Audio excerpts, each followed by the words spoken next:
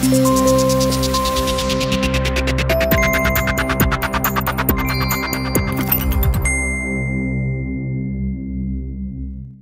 Rangers owner Craig Whyte has claimed he didn't get the full picture when he bought the club and said Sir David Murray was absolutely desperate to get someone to take it off his hands.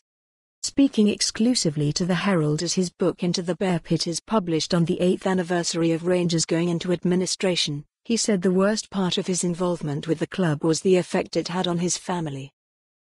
My kids had other kids refusing to play with them. My parents have had a bit of abuse, he said.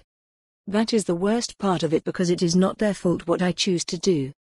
Mr. Whyte bought the controlling interest in Rangers from majority shareholder Sir David in May 2011, and subsequently put the club into administration in February 2012 and then liquidation.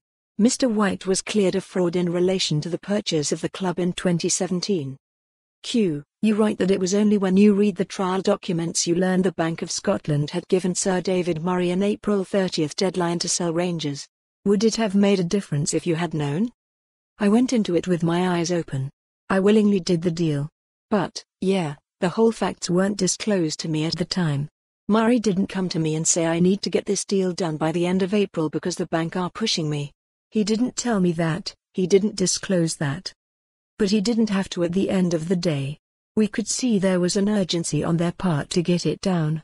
There was a lot of pressure. My lawyers and legal team at the time said we've never seen anything like this, we are getting so much pressure to do a deal. Q. You claim that Sir David Murray downplayed the significance of the big tax case during your negotiations. You also write that he didn't reveal the existence of side letters, which made the employee benefit trusts contractual. Do you think that hardened HMRC's attitude towards Rangers? There is no doubt about that. That was a huge factor. Murray's attitude was always the worst case scenario in this whole thing as there was a £2 million to £5 million liability from the big tax case, and this was before we knew about the small tax case. Murray's line was the maximum liability from the big tax case was between £2 million and £5 million, which is perfectly manageable for a business the size of Rangers. Because the whole tax scheme was intertwined with the Murray Group, the deal I had with them was they would manage the ongoing tax case, so we were never actually managing it ourselves within Rangers.